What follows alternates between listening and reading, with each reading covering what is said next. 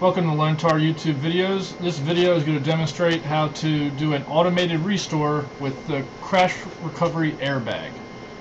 Now first thing we need to do is boot up off of the crash recovery AIR-BAG CD. And before we do an automated restore, always do number 7 to test backup and hard drive accessibility. And the first thing it should do is access the backups and that's successful and then as long as it can access your backup device you're good to go.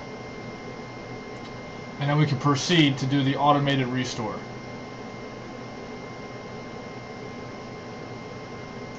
To do the automated restore all you gotta do is press number one from the AIR-BAG main menu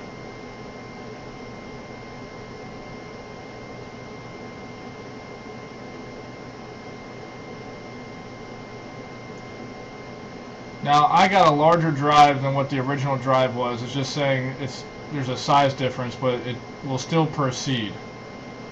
So you can say yes.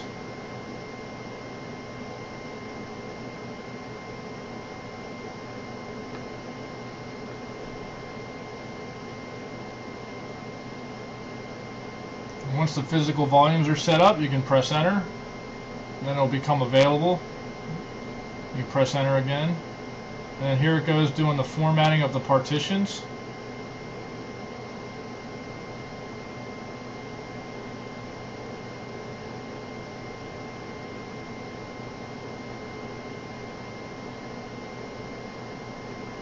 After formatting the partitions, it's going to mount them.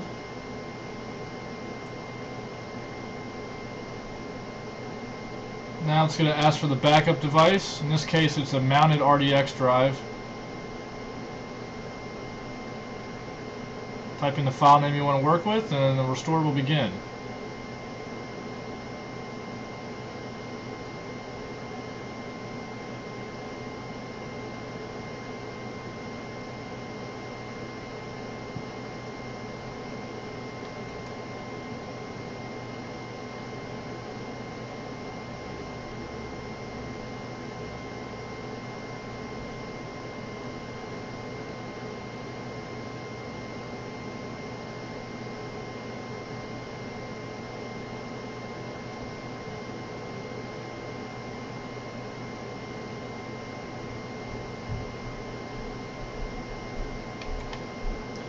After the restore is successful, you'll get this message and you, you'll press enter and then the next, next thing it'll do is it'll install Grub and if you have SELinux enabled, it'll set up the SELinux.